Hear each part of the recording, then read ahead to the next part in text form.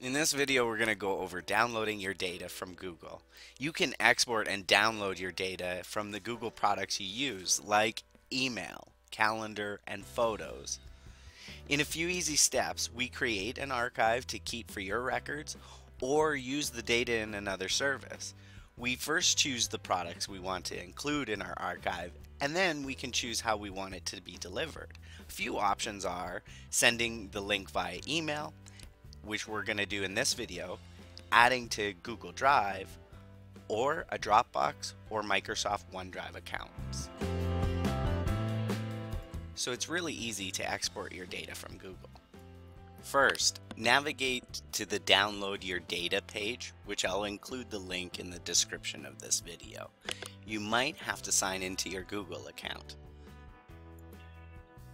Choose which of the products to include in your download. To see more details and options for a product, select the down arrow. Next to each of the apps that you want to see more information about. There are several different options depending on what you're downloading.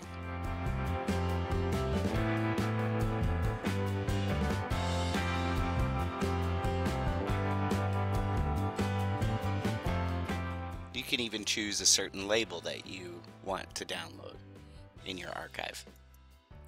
Select Next and choose your archive's file type. Just a note, your content from Google Play isn't included when you create an archive. To download your music, you'll need to use the Google Play Music Manager. And as I mentioned before, there are different delivery methods that you can choose. In this video, we're going to send the download link via email. But you can also add it to your Google Drive folder or a Dropbox account or a OneDrive account. Now we're ready to create our archive, so click the Create Archive button. And it can take a few hours or even days for your archive to be created. It depends on how much you're going to be downloading um, and what's stored into your account.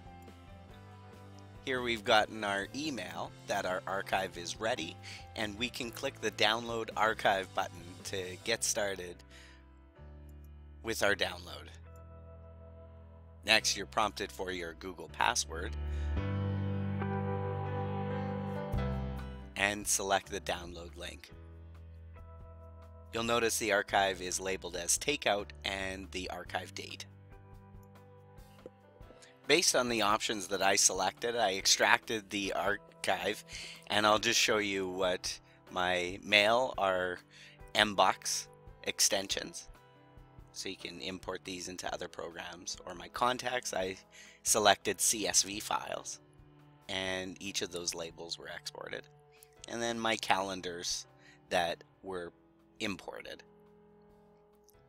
along with my full Google Calendar. Thanks again for watching. Please be sure to subscribe to get updates on more videos like this. If you like the video, be sure to give your likes and I look forward to your comments. Thanks for watching.